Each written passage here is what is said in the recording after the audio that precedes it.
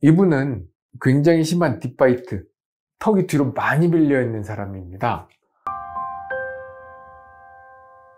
안녕하십니까.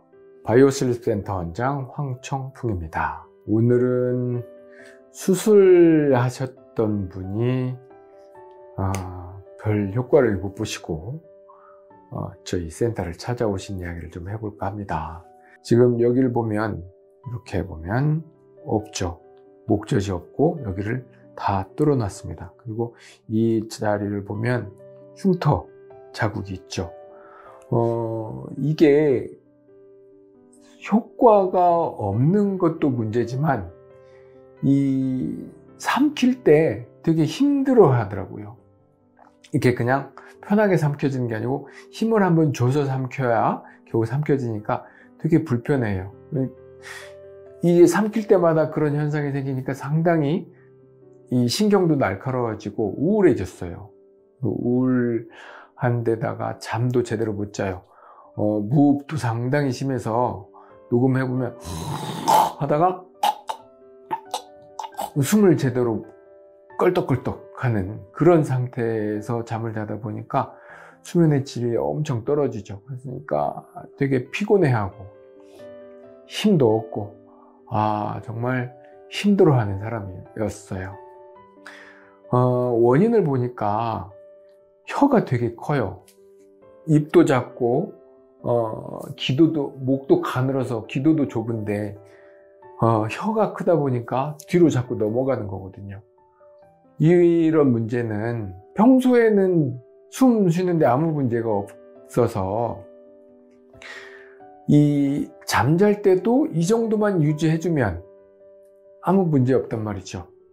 그래서 턱을 이렇게 당겨서 기도가 막히지 않도록 혀가 내려와서 기도를 누르지 않도록 해주는 장치만으로도 충분히 효과를 보는데 어, 혀가 좀 크다 보니까 혀를 받쳐주는 것까지 해주면 되게 효과를 잘 보겠다. 그런데 이게 워낙 구강이 작다 보니까 어, 이분만을 위한 어, 특별한 디자인의 기구를 제작을 했습니다.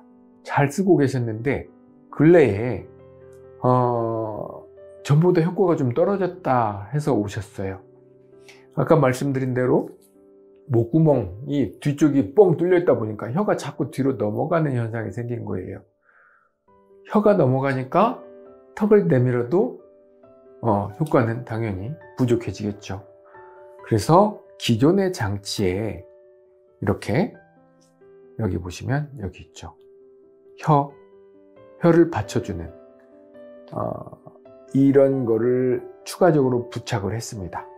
그랬더니 혀가 뒤로 안 떨어지니까 아래로 안 떨어지니까 한결 이제 혀에 대한 부담이 적어진 거예요.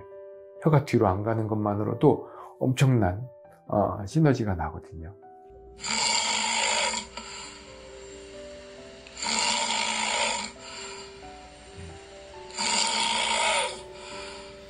뭐 완벽하게 잡았네요. 네.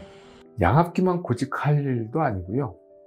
가드만 고집할 일도 아니고 또 수술만 고집할 일도 아니고 그 사람의 상황에 따라서 조건에 따라서 어, 심각도에 따라서 이렇게 어, 자기에 맞는 조합을 해서 쓰신다면 훨씬 편하고 어, 효과적인 수면을 하게 되지 않을까 하는 생각에서 여러 사례들을 말씀드렸습니다.